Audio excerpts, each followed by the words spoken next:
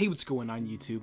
Aura here. Today I'm going to be talking about the Juggernaut series that was known as Eve, or My Virtual Escape. I just want to talk about some things that kind of blows my mind about the series and why that series was just so good in general and sort of the idea of it and how sort of that kind of reflects on me.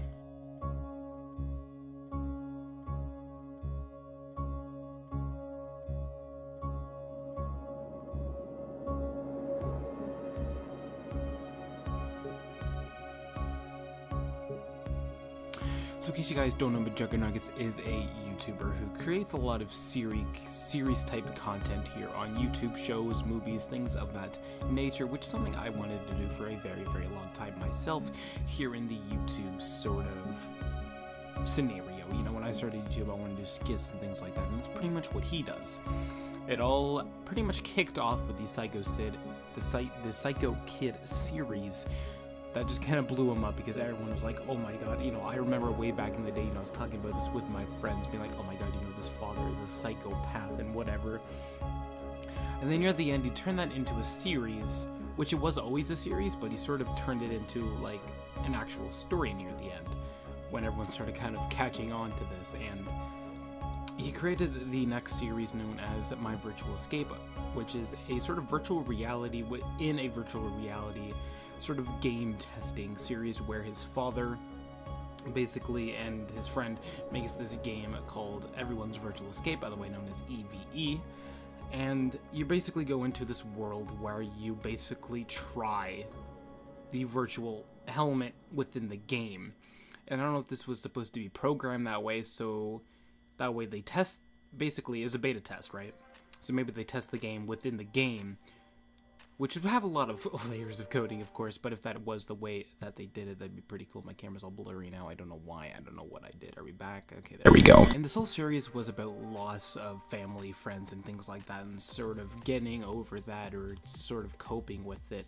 And I like the way he really did that because you put on the virtual helmet, and then when you do that, you go into this world that feels like real life, and then you receive another helmet within the game that you then put on, and you're in this virtual reality of the virtual reality to where you know if you die or whatever. And basically, the whole point of the game was to get be the last man standing. Then you get this wish, and I always figured this wish was something to do within the virtual reality because you can't just make anything happen in real life, of course. So they get the wish after they take off the helmet within the game.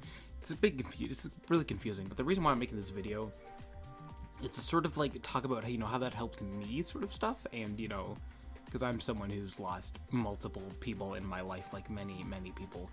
And you know, that series kind of made me reflect on that. And damn, dude, some moments in that made me bawl my eyes out. It was, it was great, honestly, though. But you know, I like the series because if you ever lost anyone or someone who maybe hasn't lost anyone yet, you know, it's good to sort of see like the start of when that happens to sort of the progression of that and how people sort of deal with it, you know, getting into drugs or suicide and things like that, and then how, you know, people helping you can actually help you and things like that, and sort of waking up from that sort of nightmare you've been living in, sort of thing. And I really like the way he did that.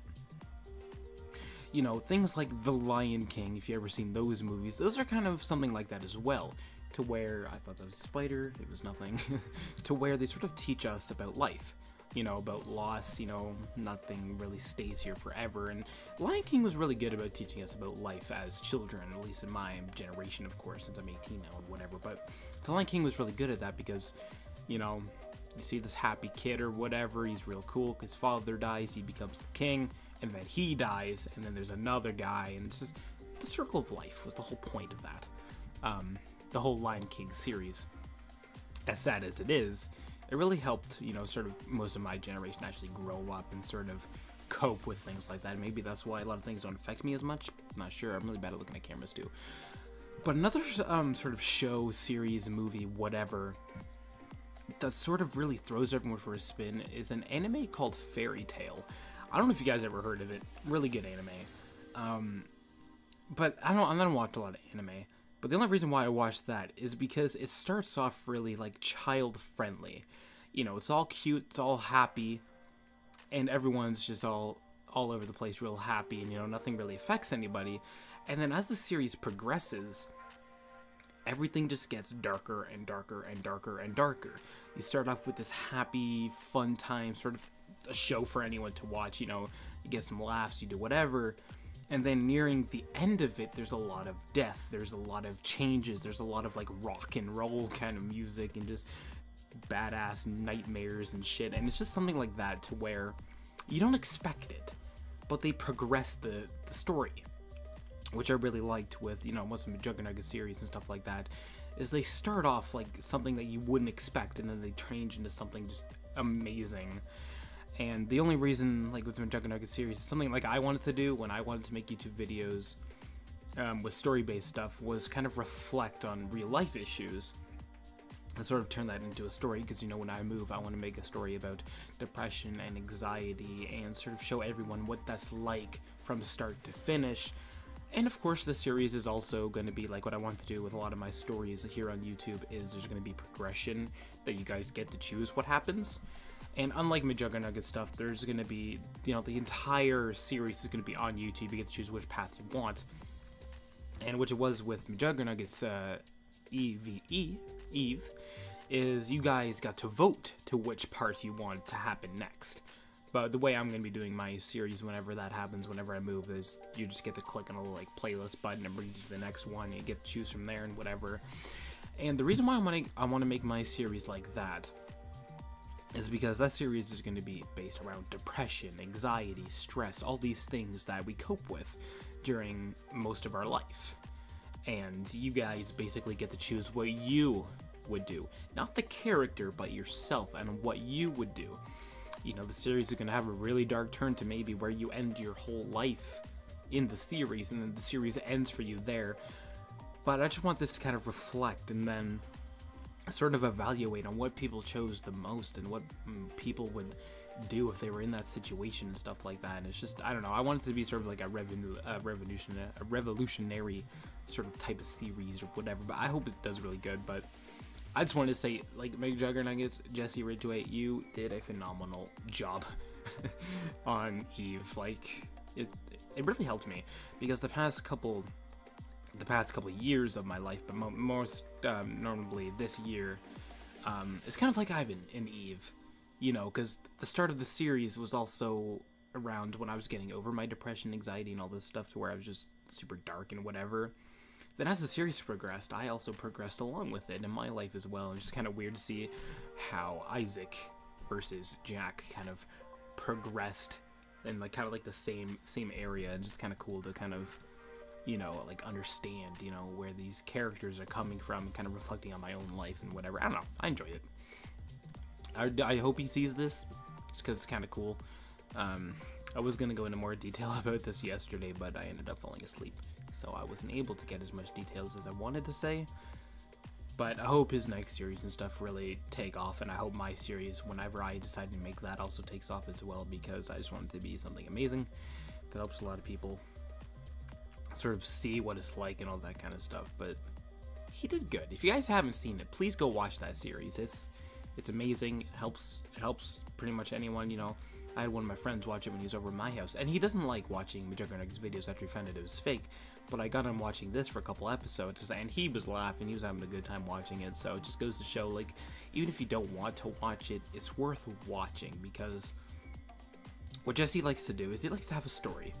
But within the story, he has actual life lessons that reflect on all of us and sort of goals and things that he likes to talk to us about within the series. You know, things like this. Uh, this series was about, you know, reflecting on lost ones and how to, you know, how people feel when they lose somebody versus, you know, how other people feel about it. And, you know, some actions you can take and some actions you should not take, and then sort of where you can go if you just keep fighting and stuff like that. I don't know. It's a real cool series. I'm gonna have a fun time making this thumbnail though, hopefully, if it actually turns out good, but I hope that he can make another series that's super amazing. Um, he put a lot of effort into this, which I love, and I hope my series is almost as good too when I decide to do that. But with that being said, there's a series going on, on my channel, whenever that decides to start soon, known as Dreamcatcher. I've been teasing it since the start of June or whatever, and what the series is about is about you guys. It's about helping people um, sort of get to their goals and dreams, at least one of them, because a lot of people growing up, in at least in my life, people see what they want in life, and then once something happens, they decide not to go for it, and they just start taking this decline in their life towards a path that they never wanted to take. And this series is meant to sort of get them on the right path again and sort of make everyone happy and stuff like that. So that's what this series is, is going to be based around. And this, when I say series, it's not going to be like Jesse Ridgway or like my depression series I want to do. It's an actual, real life sort of. You know, I met this person. They said they wanted this and this and this. And I'm like, we set this up or whatever. We record it. We do all this kind of stuff and kind of reflect stuff like that. So it should be something pretty cool. Um, obviously, I don't have a set time for episodes whenever that does happen because it's gonna be real random. You know, I might not be able to talk with someone and I might not be able to do something for somebody, but I'll do my best. So if you guys want to be part of that series, make sure you guys comment down below. You know, things that you want in life. You know, your hopes and dreams and all this stuff. And of course, the Embers, Ashes, Phoenix, whatever series is going on in the Year of the Phoenix playlist. That's going to be continuing to season two as well. Hopefully soon, whenever I decide to get an actual camera, hopefully next week. But this video is a lot longer than I expected, and I wasn't able to talk about everything that I wanted to because I forgot what I was going to talk about. But good job, Jesse. Been following you for many, many years, and used to follow me, but you don't now. But I don't care. But I hope whenever I do my series, I hope you actually do watch it. If you don't, that's fine. You're busy. I'll be busy whenever I move, but you're doing great. Make sure you guys like this video, you comment down below, and subscribe if you're new to the channel. Um, the next little while, most of summer actually is going to be all over the place for me, so some videos may not make any sense at all. Some videos might be gaming, some might not, but whenever I move and I finally settle down uh, um, somewhere, I'll let you guys know what the plan is. But for now, we're going to be all over the place.